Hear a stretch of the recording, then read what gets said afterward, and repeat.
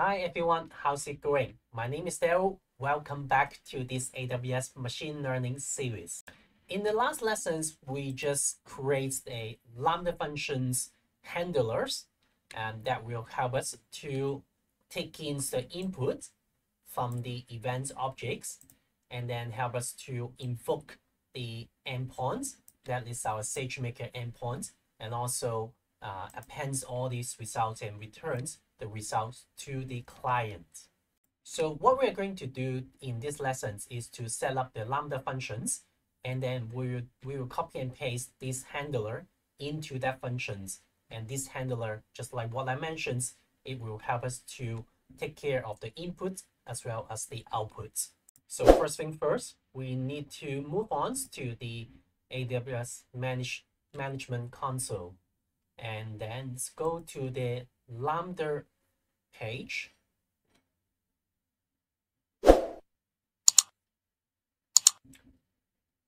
Once we are in, you will probably see this dashboard and or it will directly guide you to the functions page. In this function page, that just ignore this um, ignore these functions. That is what we've created for these uh, projects.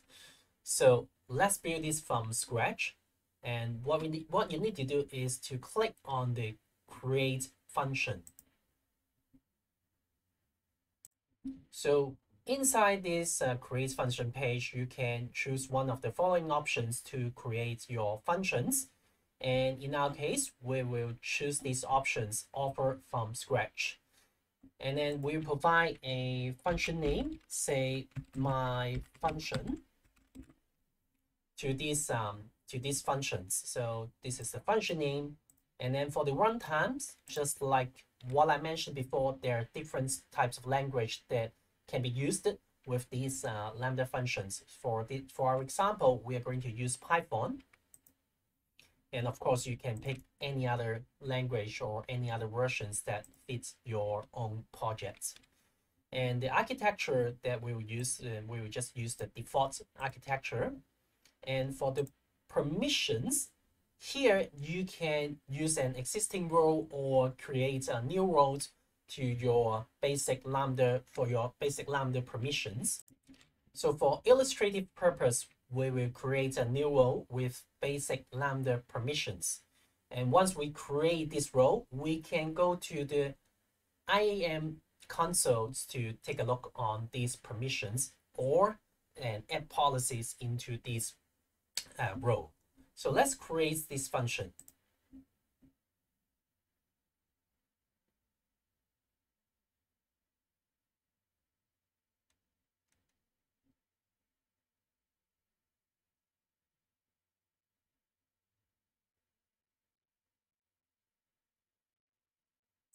So we have successfully created the functions, my functions. And remember that we need to invoke the uh, SageMaker endpoint. So we need to give a role and policy for these Lambda functions to access the uh, SageMaker endpoint. So let's move on to the IAM console. Once you are in this IAM console, you can click on the roles And we've already created a role for our Lambda functions. Now let's click into it.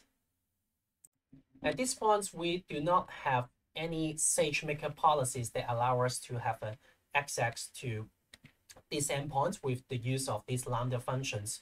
So we need to add permissions, add the policy. So we would like to attach a policy so click on it and then just type the uh, Sage Maker. Let's see if it can find me the SageMaker I want to use this policy. That is the full access to it. And then just attach these policy with our Lambda functions. So now the policy has been successfully to attach to this role and this roles from the Lambda function.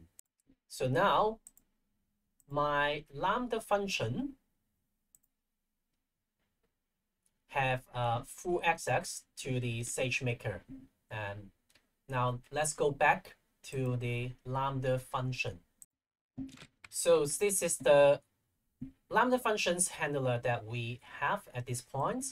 Uh, so what we're going to do is to remove it and then just copy and paste these Lambda functions handlers that we created in previous video into this uh, code source area. And now we can deploy our Lambda functions and then set up a test for it. So let's say if we have the this data and this is a test event. So let's click on the test. Excellent. The executions has been successfully done. So let's get back to the code and take a look on the executions result. And these are the response, which is exactly the same as what we've done in the SageMaker's notebook. So we have just successfully created these Lambda functions to help us to take the JSON input and then uh, and then serialize the input and invoke the SageMaker endpoint and finally return the response. And in the next lessons, what we're going to do is to trigger a SNS service. And we will learn how to send the results uh, in the emails with the use of the SNS um, service. So see you in the next video. Bye-bye.